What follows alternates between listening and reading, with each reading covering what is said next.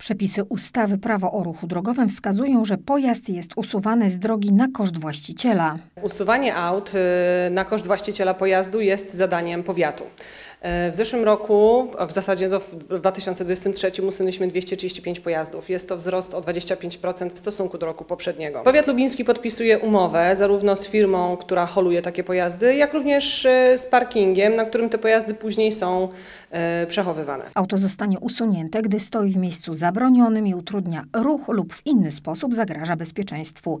Właściciel pojazdu musi się liczyć, że niemało za to zapłaci. Od przyszłego roku w powiecie lubińskim stawki wzrosną. Jeżeli chodzi o pojazdy osobowe, bo to jest chyba największy problem i jest to najczęstszy problem też, to w, od 2024 roku e, Rada Powiatu postanowiła podnieść te ceny o 10%. I tak na przykład w roku 2023, czyli w bieżącym roku jest to koszt 500 zł, a od roku 2024 będzie to koszt 550 zł.